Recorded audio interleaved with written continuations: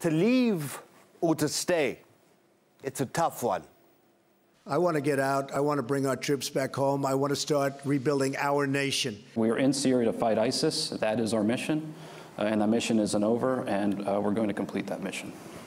America says it wants out of Syria, but not before its goals are accomplished, which could take a while and get real dirty.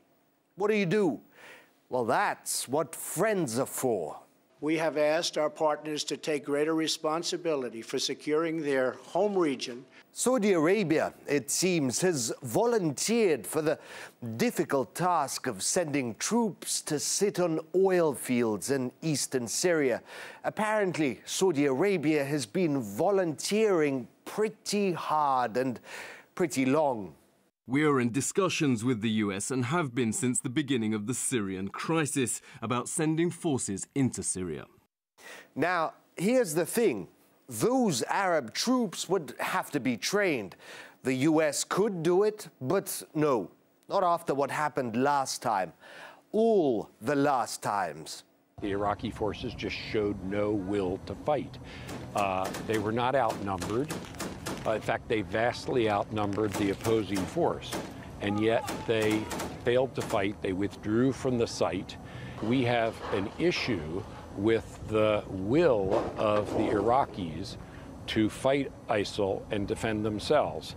So, if the Pentagon doesn't want to get involved, there's conveniently a third option. Erik Prince, mercenary czar and soldier of fortune extraordinaire, the founder of Blackwater. Yes, the Blackwater, the infamous private military company whose operations in Iraq resulted in it being banned from the country, only to re-emerge under a new name. Request permission to engage with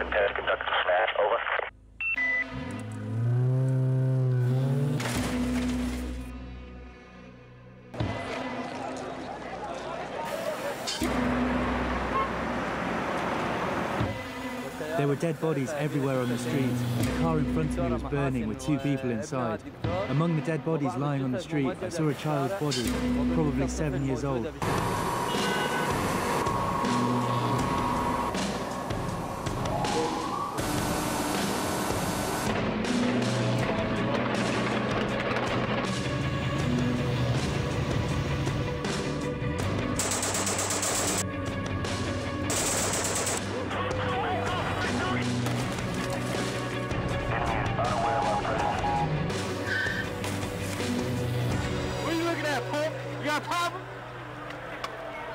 Prince was out of sight for a while before resurfacing under Trump, whom he donated a quarter of a million dollars to.